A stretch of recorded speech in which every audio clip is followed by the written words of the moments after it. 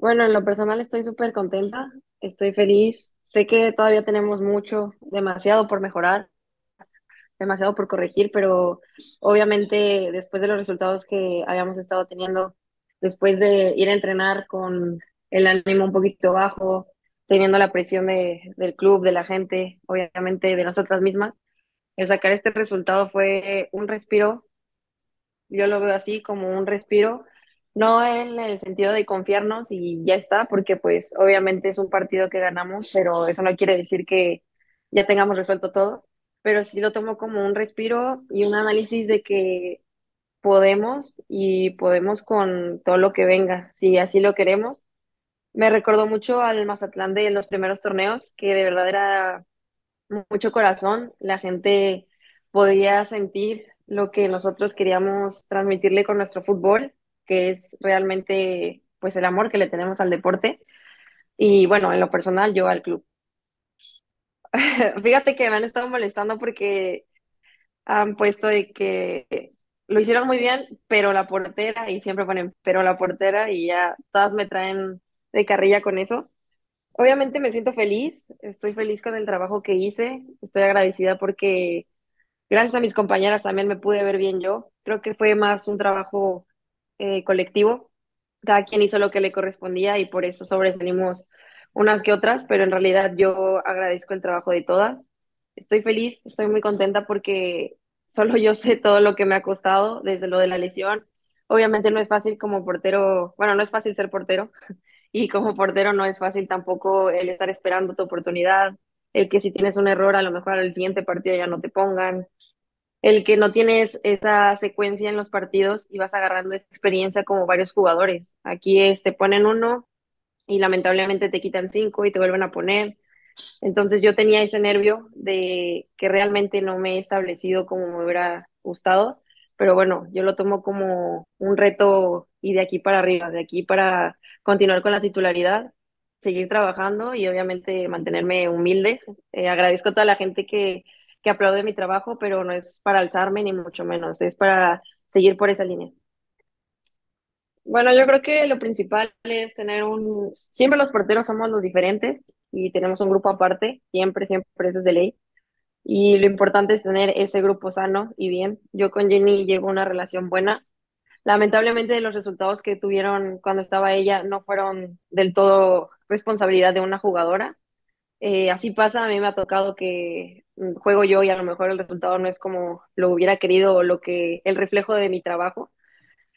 Pero sí nos mantenemos unidas en ese sentido. Entiendo y soy empática con ella porque a mí me ha pasado, como te, te decía. Creo que es súper injusto, es súper injusto nuestro papel, porque es un instante, o sea, trabajas toda la semana para que no te metan gol y cuando te meten gol te duele en el alma porque trabajaste para eso y hay muchas veces no es tu culpa, muchas veces sí, pero tienes que ser muy resiliente en ese sentido, en el que a lo mejor juegues un partido de toda la temporada, que somos las únicas jugadoras que no van a poder entrar tan fácil como las otras. Entonces, siempre nos lo han dicho, nuestro entrenador ha trabajado mucho con nosotras y en lo personal tomé las últimas palabras de, de mi entrenador que fue, a lo mejor, o sea, no es que no nos interese el resultado, pero importa más la actitud que tengas dentro de la cancha. Porque si te meten un gol y a ti te ven decaída, te ven triste, te ven enojada, eso no aporta nada al equipo. Y tú tienes que ser una líder. El portero tiene que ser un líder dentro y fuera del campo. Entonces, por lo tanto, tienes que tener la mentalidad más fuerte, siento, dentro del campo. Eh, bueno, mi papá fue portero, jugó en Pumas, jugó en Toluca, y él, bueno, sí me contaba, pero él como tal no, no me incitó a que me gustara el fútbol. Él me dejó ser y yo fui solita la que me fui intrometiendo en esto del fútbol. Antes yo era delantera o contención y es que yo conduzco muy pegado el balón, entonces eso me ayudaba mucho. Nunca he sido rápida, pero sí he sido como más agilidosa y me ayudaba mucho. Entonces, eh, a mí me encantaba eso, pero un día me acuerdo que volteé y vi el entrenamiento de porteras y cómo se aventaban y cómo rodaban y no sé por qué me llamó la atención, la verdad, pero yo dije, quiero ser como ellas, quiero ser esa persona diferente. Y poco a poco este, fui cambiando, eh, no me dieron oportunidad en ese club donde estaba, bueno, no era como tal profesional, todavía no existía, Y luego fue en Toluca, se abrió en Fuerzas Básicas la oportunidad y ahí fui ya de portera, mi papá me preparó y bueno, de ahí surgió todo lo de mi carrera eh, profesional siendo portera. O sea, porque de verdad, él me decía, yo no quería que fueras futbolista porque yo sé lo que es estar detrás de todo esto y más como portero, te tienes que aguantar muchas cosas, tienes que aguantar la frustración, la presión, el que juegues, el que no juegues. Entonces son muchas cosas en contra, pero al final siento que eso me ha ayudado también en la vida, en la vida cotidiana. Bueno, como tal, bueno, a mi mamá nunca le gustó eh, que yo fuera futbolista. Ahorita ya lo adora, lo ama y ya ella también es la señora más fifas que puede existir. Pero al principio no, al principio me metió a lo típico, a ballet, quería que bailara tap, a todas las danzas habidas y por haber, te lo juro que me metió, pero no, o sea, yo quería deportes, siento que siempre he sido, bueno, he destacado en, en los deportes, pero el fútbol me llamó muchísimo la atención y mi papá también me dijo, es que yo no quería que jugaras fútbol porque yo sé lo que es estar ahí, pero bueno, al final, la verdad he tenido el apoyo de los dos, gracias a Dios, eh, me han apoyado en todo, obviamente sin dejar los estudios, sin dejar una que otra cosa, pero siempre me han apoyado a donde sea que yo vaya, estuvieron conmigo cuando me fui a Veracruz, cuando viví en Tula, cuando regresé a Toluca, cuando les dije que me iba a Mazatlán, siempre han estado conmigo y son los primeros que que me apoyan en todas las decisiones que tome. Básquetbol, yo creo. Ah, sí, obviamente, yo adoro el fútbol. Yo realmente siento que sí es una pasión que tengo. Yo puedo estar viendo el fútbol, después ir a entrenar, después regresar y ver fútbol. Eso es algo que me encanta. De verdad me apasiona. Entonces, ahorita no me veo jugando otro deporte. A lo mejor sí como, como en mis tiempos libres o como hobby, pero realmente a mí me encanta estar en lo que estoy haciendo. Al inicio no, cuando empecé a jugar fútbol yo tenía otros objetivos, quería dedicarme a otras cosas también, junto, bueno, de la mano de fútbol, pero a lo largo que me he ido metiendo un poquito más en todo esto y también que he ido madurando un poco más, me encantaría ser directora deportiva. Yo no me veo tanto como directora técnica o auxiliar o parte del el cuerpo técnico que está más involucrado en el día a día con las jugadoras. Me gustaría un poquito más el detrás de todo eso me encanta todo lo administrativo, me encanta lo de las jugadoras, eh, todo. Me encantaría poder cambiar un poquito lo que es el fútbol femenil para bien. Obviamente el fútbol, así como, como te da cosas bonitas, también pues es muy injusto en todos los sentidos. Tanto siendo jugador, siendo entrenador, siendo directivo, porque un día puedes estar y al otro día no. Un día te lesionas y al otro día puedes ser la máxima estrella, entonces esto es como una montaña, montaña rusa. Yo creo que sí tengo varias ideas, pero y yo estoy consciente que Fernanda también las tenía, pero muchas veces no depende solo de uno. Desgraciadamente estamos todavía en tiempos en los que dependemos mucho del equipo varonil, no somos como tal algo separado, este, y esa es la realidad. Entonces, aunque una o uno quiera mejorar en ese sentido, no depende completamente de, de lo que hagamos nosotras.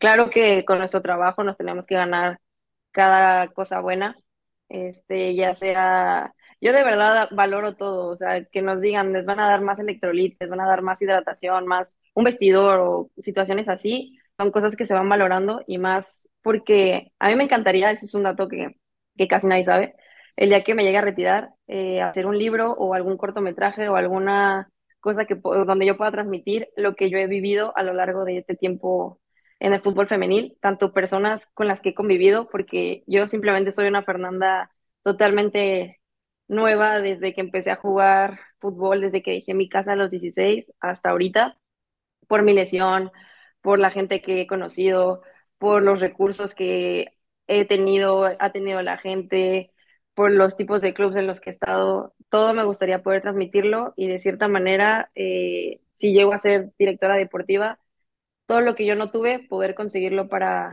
las chavas que estén en ese momento y en el club, obviamente, que yo llegué a estar. Oye, Siempre me ha gustado, creo que yo soy buena tomando fotos, tengo, soy muy creativa en ese sentido y siempre me ha gustado estar tanto detrás de la cámara como delante, todo lo de la producción, edición me encanta. Em, también llegué a pensar en ser parte de algún tipo de, de medios eh, dentro de un club Eso también me gustaría. Yo estudio actualmente comunicación, entonces siento que con la creatividad y lo que he vivido puedo hacer un trabajo bueno para poder llegar a, a todas las personas que realmente no conocen lo que está detrás del fútbol femenino. Son muchas cosas, son muchas cosas que yo creo que si pudiera hablar con mi niña que fui hace muchos años, no creería que estamos jugando en primera división y que he conocido los estadios de México. O sea, estoy viviendo mi sueño realmente todos los días. Y creo que si no hubiera tomado, desde el día uno, no hubiera tomado la decisión de dejar Toluca, irme a Veracruz cuando nadie creía en, en ese equipo, eh, nada, o sea, no sería la misma, de verdad no sería la misma. Estoy muy agradecida también con el fútbol porque así como me ha dado momentos malos, momentos de aprendizaje, me ha dado momentos muy felices en los que gracias a eso yo soy una persona mejor, una persona más madura, más independiente, entonces eso me hace muy feliz. Desde que empecé a los 16 en Veracruz hasta ahorita Mazatlán los 21. Fíjate que no se lo pasa con las lesiones, o sea, la gente cree que nada más pateamos un balón y ya. Y obviamente nunca van a entender porque es muy fácil estarlo viendo en la tele y me ha pasado, ¿no? Cuando no juego de que, ay, esa lo hubiera parado yo. Ay, es que eso se ve muy fácil, pero realmente es mucho lo que pasa detrás, es mucho trabajo. Así cuando perdemos y dicen, ay, equipo malo, ay, es que no sé qué, o sea, te pueden estar tirando, pero realmente es impresionante lo que uno hace por salir adelante. En cuanto pasó lo de mi lesión, eh, yo estaba muy, estaba muy concentrada, obviamente estaba nerviosa porque, como te digo, no hay una constancia de, ah, eres titular y juegas todos los partidos. Yo tenía ya tiempo sin jugar, fue el primer partido, en la primera jornada, este, en pretemporada yo era titular, pero a veces me quitaban, entonces no, o sea, se supone que yo iba a ser titular y me dijeron que iba a jugar ese partido contra Tigres una hora antes. Entonces fue muy poco el tiempo que tuve para, para canalizar todo, pero al final dije, vamos a sacar esto. Eh, siento yo que estaba en un buen momento, en, no sé si el mejor, pero sí estaba en un buen momento. En cuanto pasó eso, solamente, ni siquiera pensé en qué me habría roto o cómo se vio la jugada, o sea, simplemente pensé, quiero seguir jugando, o sea, yo quiero, no quiero salirme del partido. Y todavía me acuerdo que le dije a la doctora que no sentía la pierna yo, pero me la acomodó, no sé qué me hizo. Y ahí fue cuando me dejó de doler un poco más y le dije, sí puedo, sí puedo, sí puedo, ya está. Y ya me, me acuerdo que me ayudó a pararme y fue cuando la rodilla se me hizo toda para atrás y me dijo, no, no puedes. Y ahí fue cuando yo empecé a llorar, no tanto por, es que mm, si me rompí, es que no, o sea, yo pensé en el momento de, yo quería seguir jugando, o sea, yo no me quería salir, porque yo sabía lo que me costó esta titularidad, lo que me costó estar ahí parada. Entonces, simplemente ese día pues lo tomé de la mejor manera, quería que el equipo sacara un resultado positivo y ya después me enfoqué en lo de la lesión. Fue un proceso muy complicado porque en realidad no me dijeron luego, luego, ah, te rompiste esto, porque estaba muy inflamada la rodilla y todo. Yo pensé que no era tan grave, porque obviamente lo viví diferente. Sí sentí un dolor que jamás había sentido, pero yo dije, no, solo se me zafó la rodilla, algo así. Y en cuanto entramos al vestidor, me dice la doctora, ¿ya viste la jugada? Y yo, ¿a poco la, está grabado? Y me lo enseñaron y ah, pues se ve una cosa catastrófica completamente. Y ahí fue cuando dije, esto no es normal. O sea, no, no me zapé nada más la rodilla. Ya cuando me explican qué me pasó, pasaron 15 días, yo con la rodilla destrozada sin saberlo, obviamente con muletas. Después de la resonancia, la doctora llega, está un espejo y me dibuja mi rodilla, sí, tal cual. Y me dice, lo que vaya a borrar es lo que te rompiste. Y pues literalmente borró todas las partes de la rodilla. Y ahí fue cuando obviamente me solté a llorar. Eh, le hablé a mis papás. Mis papás obviamente yo creo que ya sabían que pues eran malas noticias, pero se mantuvieron positivos de no, vas a ver que con terapia sale. Y obviamente no iba a salir con terapia, estaba destrozada la rodilla. Y desde que salí del, del quirófano, mis papás hablaron conmigo de, tú dinos si quieres seguir jugando, si no, no pasa nada. Mi papá siempre me lo ha dicho, tú ya me hiciste muy feliz a mí, ya, o sea, estoy muy orgulloso de ti, eh, lo que tú decidas hacer, si ya quieres detenerte hasta aquí, lo vamos a entender. Y yo desde el día uno que me mandaron, creo que el día que detonó todo fue cuando después de mi cirugía me mandaron el protocolo y decía Fernando Tarango, lesión, todo lo que me ha pasado y recuperación, un año. Cuando vi esa palabra de un año, fue cuando dije, está bien, pero voy a regresar. O sea, no me voy a rendir y voy a regresar. Y se lo dije a mis papás, les prometo que voy a regresar a la cancha, se los prometo. Y pues me mantuve firme, obviamente, como te digo, ¿no? Hay días buenos, hay días malos, pero creo que no hay alguien que te pueda ayudar a salir adelante más que tú mismo. Y eso fue, eso fue mi motivación, el querer regresar, el querer demostrarme a mí más que a todos el que podía y pues gracias a Dios aquí sigo, ¿no? Trabajar con Padrón se me hace, se me hace un buen entrenador, eh, se me hace una buena persona, más que entrenador, siempre me fijo, que muchas veces nos olvida, ¿no? Que, y a la gente también, que somos seres humanos, que ellos también tienen una vida. Entonces, obviamente es normal que tengamos un día malo y que, a lo mejor estés, estés mal ese día, pero al día siguiente tienes que estar bien y, bueno, trabajar con él en todos los sentidos es una experiencia nueva para mí, porque desde el día uno me acuerdo que yo hasta pensé como que siento que no, no le gusta mi trabajo, pero poco a poco yo me seguí enfocando, traté de adaptarme lo más que pude a su, a su forma de ser, a su trabajo, y me acuerdo muy bien el día que nunca ningún entrenador me había, creo que dirigido así la palabra, porque él es una de las personas que de verdad te ven a los ojos, y yo me puse más nerviosa. Y me acuerdo que me dio la mano y me dijo, confío plenamente en ti. No quiero que tengas la presión acá, tampoco te, te quiero este, atormentar con todo, simplemente quiero que sepas que tienes todo mi apoyo y que confío plenamente en ti. Y el que un entrenador te diga eso después de la lesión que tuve, después de ni siquiera él verme jugar, yo creo, y que confiara ciegamente, por así decirlo, en mí, para mí fue un plus. Obviamente, sí he tenido altibajos eh, a lo largo del torneo, eh, pero bueno, al final creo que sí soy una persona resiliente, una persona que tiene un carácter muy fuerte, muchas veces negativamente, pero he tratado de irlo corrigiendo. Él me ha ayudado también, el cuerpo técnico también que llegó, que casi todos son nuevos, me ha ayudado, me ha tenido mucha paciencia, me ha explicado, pero sobre todo yo agradezco que son buenos seres humanos. Son grandes profesionales, pero son excelentes seres humanos. Y con Padrón creo que la relación ha, ha ido bien. Me emocioné mucho, de hecho fue eh, la primera persona que vi terminado el partido y se acercó a mí.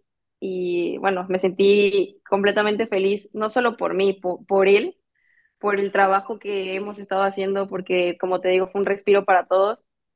Y estoy muy emocionada y muy feliz por seguir en el proyecto con él. Bueno, no sé si sea factor, como que el factor que hay, por eso pase, pero siempre he creído que, si te das cuenta, los equipos, bueno, yo nunca he visto que un Tigre sea goleado de tal manera, un Monterrey sea goleado de tal manera. Eh, son equipos, pues, muy destacados y equipos que, como tal, siento que no continúan los procesos, porque si te das cuenta, hay equipos que tienen 13 bajas, siete bajas, o sea, y hay equipos que tienen dos, una.